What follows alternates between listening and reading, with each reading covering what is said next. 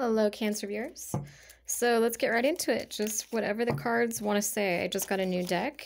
It is the Rider Waite deck. So let's see what wants to come out.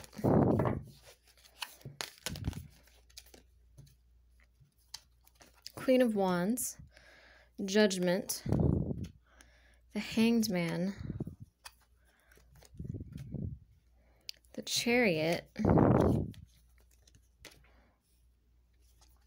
the Eight of Wands, the Queen of Swords,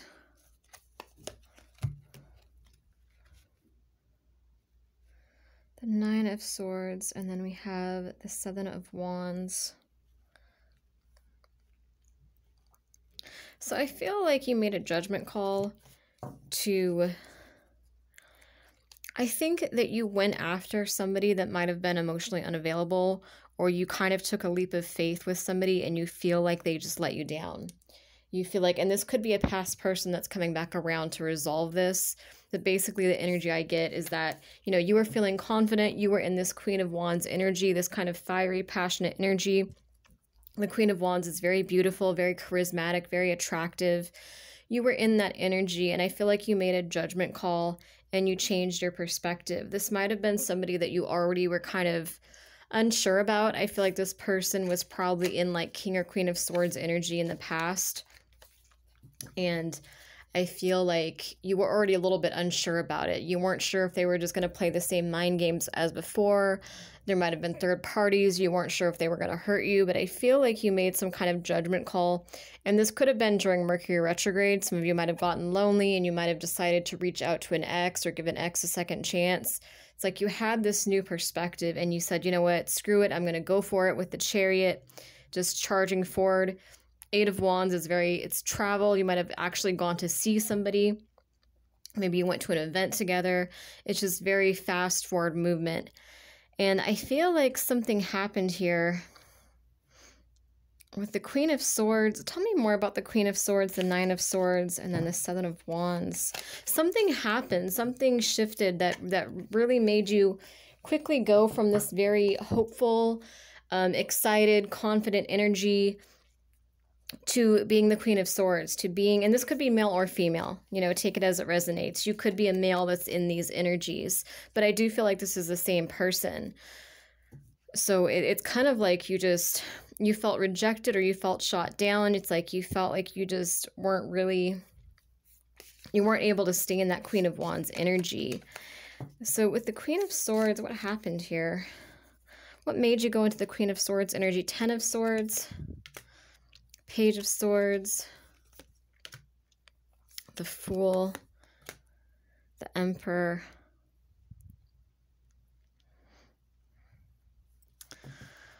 Hmm. Okay, so I think there's miscommunication here between you and somebody else. I feel like you're thinking that somebody rejected you, but I don't think that they actually did reject you. I feel like this is somebody that you have a history with and they might have put you through a lot in the past. Like there might have been a lot of rejection, third parties, confusion, emotional unavailability, just just a very conflicting energy. And so I feel like the issue here is that you guys are just kind of on different pages. I mean, I think you both want to be together. I am getting the sense that you both actually do want to work on things. You know, this person is actually wanting, I'm going to look more into the Emperor's energy but I think that I think basically this person either came to you or you came to them probably during Mercury retrograde. Like someone's come back around or they're about to come back around. And it's like I think that I think that you maybe just moved a little too fast and you didn't get the response that you wanted, so you kind of shut down and you got into this Queen of Swords energy. Like you see how angry she looks. You know, this is you. You're in that energy where you're like, "Oh, I just got rejected." It feel like it, it's kind of it, it's not as bad as it feels though I think a lot of the anxiety is kind of in I think a lot of this this fear, this worry is kind of in your head. I, I don't feel this is either a new person that you're getting to know and they really do like you, but they just want to move a little bit slower than you want to move. And you might have these um you know, this baggage from the past. It's like maybe being rejected by so many people in the past, going through so much heartbreak, where you might have these abandonment wounds and and so you might see rejection where there isn't rejection. Does that make sense? It's like if somebody moves too slowly you might just kind of be quick to take it as rejection when they don't mean it that way. For a lot of you i do feel like this is somebody from your past that really just put you through a lot and they are wanting to come back around and they are wanting a new start with you. They want to pursue things with you but they're just not I, th- I think you had higher expectations for them. Like i think you were kind of expecting them to confess their feelings right away or to to move things forward quickly. And when it didn't move as fast as you wanted i feel like you felt a certain way about it and you got in that queen of swords energy and kind of got in your head and got a little bit defensive um, and you felt like it was a ten of swords. You felt like it was like a betrayal you know ending backstabbing. And the cards are basically saying it's not really as bad as it as it feels. What what is it? It's not really it's not actually a ten of swords. So what is it exactly? It feels like a ten of swords to you but what actually is it? Seven of swords the devil the hierophant the Ten of Wands. Let's see here. Because it's not actually a Ten of Swords, but I feel like in your head it feels like a Ten of Swords because you have these deep wounds, either from other people or from this specific person. So it's very hard for you to trust this person. Yeah, I feel like this is somebody. This could have been somebody that cheated on you, or there was some kind of sneaky behavior, possibly even love bombing it's like they weren't consistent with their, with their actions. I feel like they were in devil energy in the past. Um, but deep down, it's like they did want commitment. They possibly wanted marriage with you. It's like they did, it's like their actions didn't match what they were feeling. And I feel like this is also just you. You wanted this marriage, this commitment. And at a certain point, I think you just looked at this person as like they're, you know, they're just toxic. They're never going to change. They're in this devil energy. And you put the burden down um, and again, this could either be a new person that, you know, has nothing to do with the ex, but it's just warning you, like, don't, you know, don't bring that into the new relationship. Don't sabotage this new connection based on what your ex did. Or if this is actually an ex that's coming back around that's, you know, changed and they're trying to do right by you, um, it, it's like you can, you know, speak your truth, of course, and work through things with them but don't don't if someone's trying to change don't hold the past against them. You know what i mean? Like if you're gonna give this another, another chance you don't you don't want to keep them tied to the past. You don't want to keep them tied to that devil energy. If this person really is trying to change and if you really do want to give this another chance that is it's really important to find that that temperance energy that balance um to you know to stand up for yourself and to have your boundaries, but at the same time not not um keep this person in that energy where you're going to keep blaming them for the past or where you're just going to keep seeing them a certain way. You know, you have to allow this person to change. You have to give them a chance to show you something. But I am seeing that this person actually does want that new start with you, but again, they're they're coming in as a page of swords, so they're a little bit inexperienced they're not coming in quite as strong as like a page of uh of wands or page of cups might come in you know so they are a little bit inexperienced they are a little bit uh I feel like testing the waters with you a little bit. Like they do want this, they're just not wearing their heart on their sleeve. It's like they do want the new start, but they're in this emperor energy where the emperor is emotional um, he has a very strong masculine energy, and it could be male or female again, but it, it's like whoever this person is, whether male or female, it's it's like they do want that new start, but they're they're not wearing their heart on their sleeve. They're being a little bit more guarded, a little bit more cautious, kind of testing the waters, seeing where you're at, taking things slowly. Tell me more about this this Page of Swords, Fool, Emperor energy. Wheel of Fortune, Page of Cups. So I think that this person is going to become a Page of Cups. Four of Cups. Let's see here. Five of Cups. Okay. I feel like this person. I feel like you kind of, if you do want to give this a chance, I feel like you have to kind of change your perspective on it. Um, and again, like I said, for some of you, this could be somebody new where this is just referencing someone from the past and it's saying when this new person comes in, don't just treat them like your exes. Don't just assume they're going to do the same thing your exes did. You need to find that balance between I feel like this is somebody I feel like I'm talking to somebody that doesn't really have a lot of balance when it comes to relationships like where it's like you either dive in head first, you know, very emotional like let's get married tomorrow or you do the opposite where you kind of play it hard you play hard to get.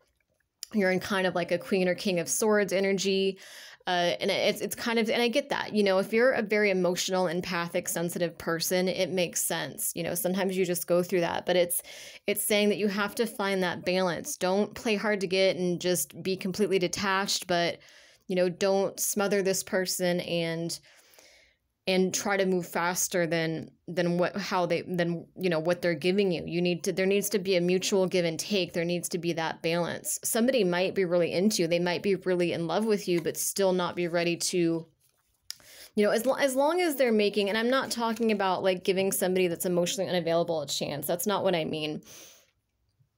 This emperor seems like somebody who is actually trying with you this emperor seems like somebody who does actually want to be there. You know, this isn't somebody who's emotionally unavailable.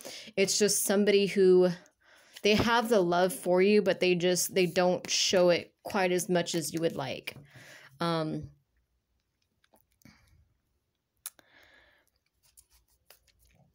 And I also feel like, yeah, like what I was saying about you kind of needing to change your perspective on this. If there was a period of distance between you guys, maybe this person left for a while, there might have been a third party situation, and now they're coming back around. And they needed to go through some kind of karmic lesson, some kind of karmic cycle with the Wheel of Fortune. There might have been karmic lessons that you guys were supposed to learn together, but maybe you guys, maybe you stayed stuck in like a certain energy with them and so they weren't really able to learn that karmic lesson with you. So maybe they had to go learn that karmic lesson with somebody else, or they had to go learn that karmic situation, a uh, karmic lesson in another situation. Like, let's say this person was getting away with too much stuff with you, which originally wasn't supposed to happen. This is this is just you know one example. Take it how it resonates.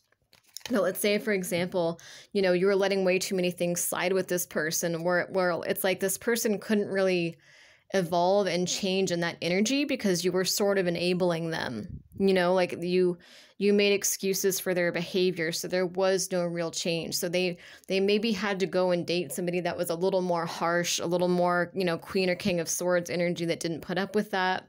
And they needed to get a taste of their own medicine. They needed someone to treat them the same way that they treated you. They needed to know what that feels like. They need to be put in their place. And it's going to be different for everybody. For some of you that is the karmic lesson they had to learn. For some for others it was one of those things where it's like you were trying to help them make these changes and they just weren't doing it and they had to learn the hard way. Um, so page of cups and then four of cups, five of cups. Tell me more about this energy. Five of wands. Yeah, I feel like they didn't take your love offer before. I feel like you felt very rejected. And I think at some point they might have been hooked, they might have been stuck in the past as well. But I also think this is kind of them looking back on this energy where they're like, damn it, like why didn't I take this love offer when I had it? Why why didn't I why did I let these cups spill? You know, and now there's like kind of this conflict and this tension between you guys because it's like you don't really fully trust them. And then we have the hermit energy here. It's almost like you felt like you had to kind of it's, it's like you wanted to be vulnerable with this person but at a certain point you felt like you had to be defensive. You had to be on guard. You felt like you had to kind of isolate a little bit. Like you just felt like you didn't know how to trust them. And, and now it's almost like there's this tension and this conflict that's built up because you felt so rejected and you know, because they took so long to, you know, they had to go off and learn these karmic lessons before they could really accept love. Um, and I also feel like for some, it's like they might have a different love language than you do too. So they might show you they love you in different ways than what you're used to. But but it's still built up, and I, I just feel like you're, you know, there's been so much just, just so much crap with this person, so much rejection, so much confusion that, you know, now it's built up and now that they're coming back around, it's like there's this kind of conflict where you're kind of in this king or queen of swords energy. Um, and you might have even taken like a recent leap of faith with this person and then you know you found out that it's like they've come back around but they're still not moving as quickly as you would like. But but I am seeing that the emperor here, what does the emperor want with you? Like the emperor is wanting a new start with you though. What does the emperor want with you? The magician, the two of swords, death.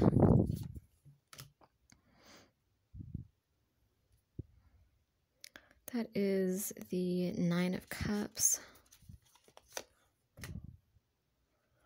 Six, six of Swords. Ace of Swords. He wants to communicate, he or she wants to communicate with you and tell you that they want, you are their wish fulfillment. They are wanting to move things from rough, rough waters to calmer waters I feel like right now they're kind of in hermit mode because they're not sure how to approach you. So you might have been a little bit aggressive with this person recently, or there might have just been this energy of, um, I just feel like they're not sure what to do because it's like, I feel like even though there's the, the mutual love there and you guys both want this, you guys both have very different approaches. And the thing is that you're more sensitive than this person. So I feel like their approach, you take it as rejection when it's not really it's like one of you is more logical and one of you is more emotional. And, you know, that can be a good balance in the relationship. But I just feel like the issue here is that sometimes it's like, even though the love is there, it's like you guys have to kind of.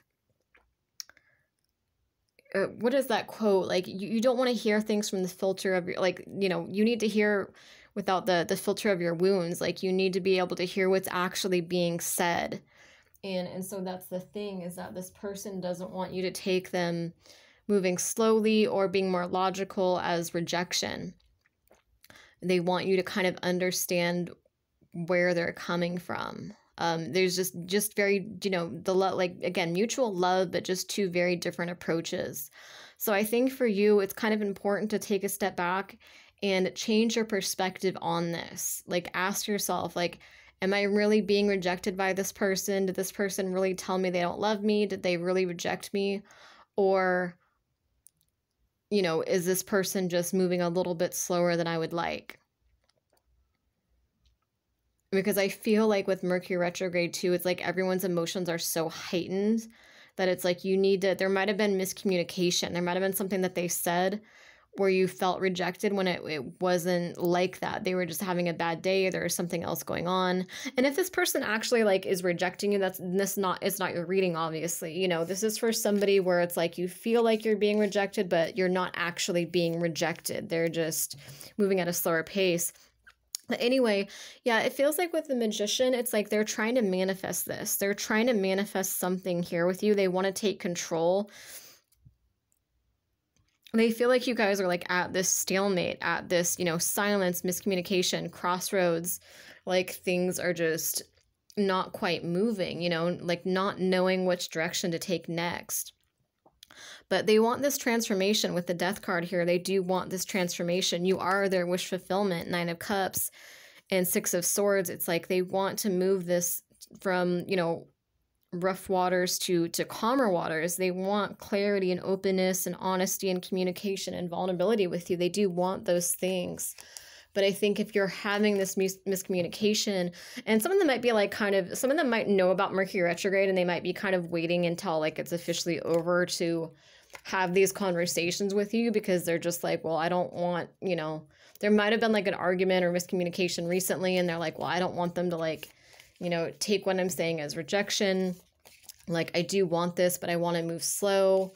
So it's one of those things where it's like they don't know how to tell you that they they they don't know how to word things. They they're worried that if they say, "Hey, like let's let's see what happens, let's see where this goes," that you're just to, you know, get in your head and that you're not to take it the right way. Tell me more about this emperor and what he's what he or she is wanting with you. 3 of wands for yeah it's like waiting for your ships to sail in like they are they are wanting this 10 of cups with you. Like 10 of cups 9 of cups you know 4 of wands is like a twin flame or soulmate card. It's peace stability.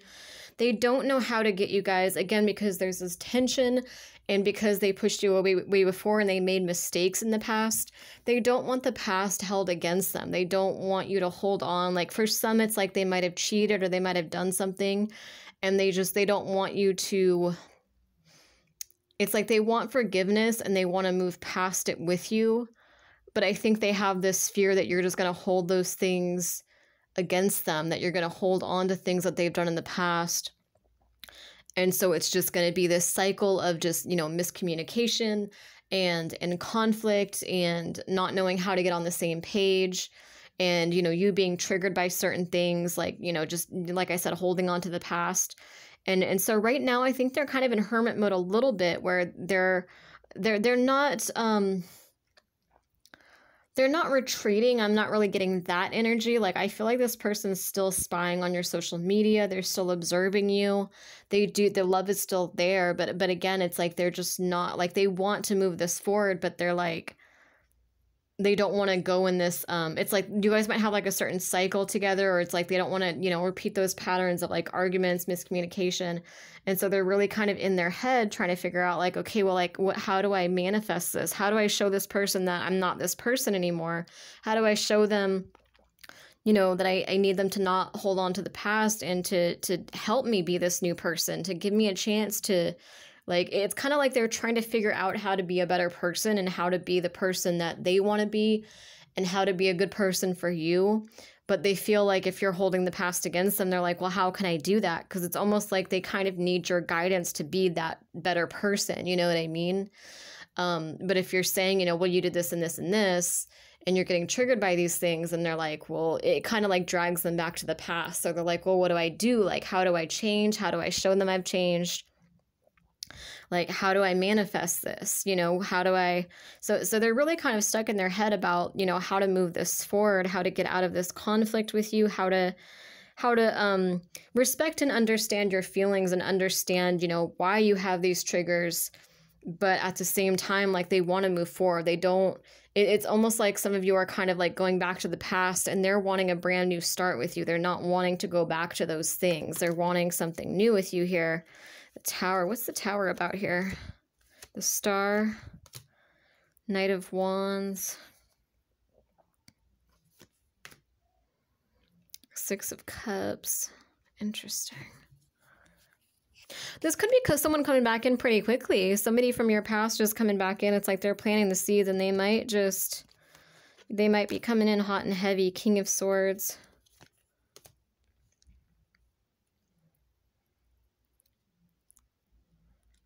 Ace of Pentacles. Yeah, see, again, it's like they are giving you that new start. They are giving you the love that you want, but they're in a King of Swords energy. You're hoping that they'd be in like a King or Queen of Cups energy, but instead they're in like a King of, like, reserved um, and logical, but the love is still there. That, that offer of a new start in the physical world is still there. That justice is still there.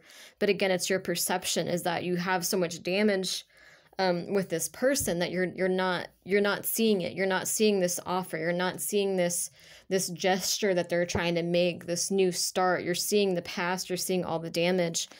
Um, temperance yeah balance is needed. Any more final messages here? The high priestess the seven of cups and as always, I do private readings. So if you'd like a private reading, just email me. My email is dragonenchantress at. That is right below in the description box. And please comment, even just leaving a heart comment. It helps me get back into the YouTube algorithm, so I really appreciate it. Two of Cups, Three of Swords.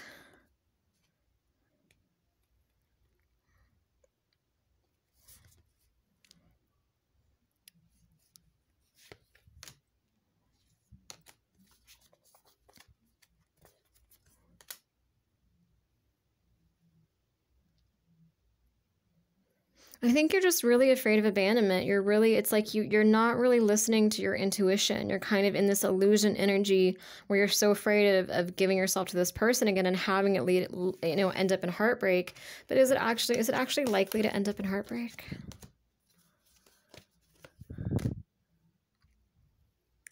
Six of Wands, Five of Swords, King of Wands.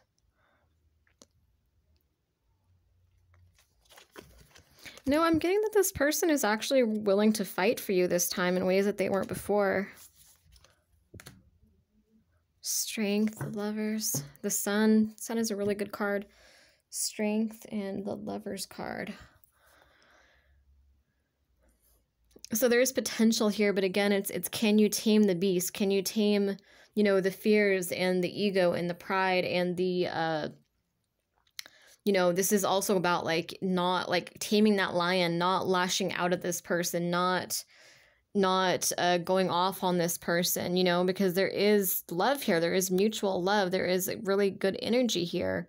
But the high priestess, it's like you kind of need to use your intuition and observe, be logical, be observant, but be grounded, be be calm. You know what I mean? Don't live in the past. Like let this person if you want a new start with this person, it's like let them show you who they're trying to become. You know what I mean? I think there needs to be a perspective shift on your end if you're going to do this with this person. But if you're able to do that, um, it does look positive. But again, you're going to have to find that balance. Otherwise, you're going to end up repeating patterns where it's like you might, you know, end up saying too much or overwhelming this person or saying, um, you know, getting angry at them. And this person might kind of run from that. Well, I mean, it, like, I feel like in the past they would run from that conflict, but I actually feel like they are wanting to fight for you this time. So so yeah, just try to find that balance.